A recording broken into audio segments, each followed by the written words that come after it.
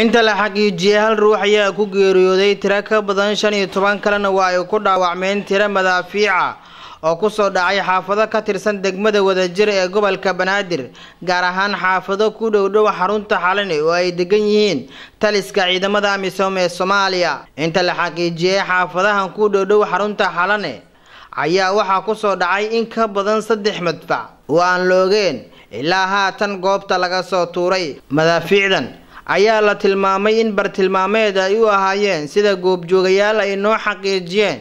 Xarunta xalani oo ay degan yihiin taliska amisom ee soomaaliya.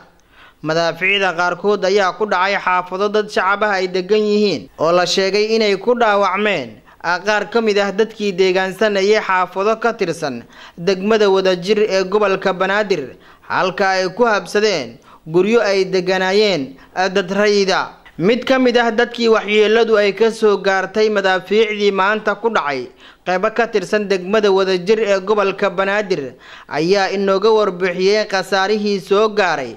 Dadka shacabka ah ee deegaansanaya hareeraha xarunta xalane ee degmada wadajir ee gobolka banaadir.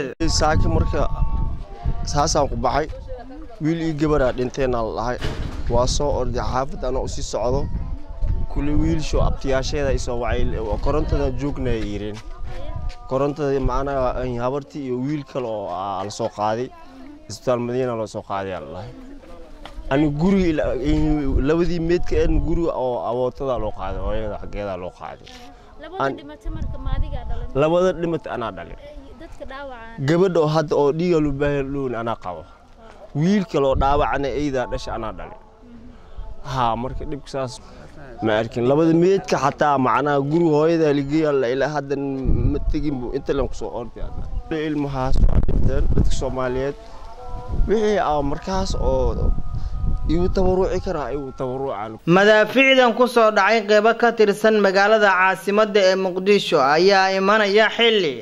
Wadooyinka muqdisho intooda badan ay yihiin kuwa ay xireen ciidamo ka tirsan dowladda soomaaliya waxaana lagu guda jiraa dabaaldega gabagabada toddobaadka xurriyadda xasan kahye som news t v muqdisho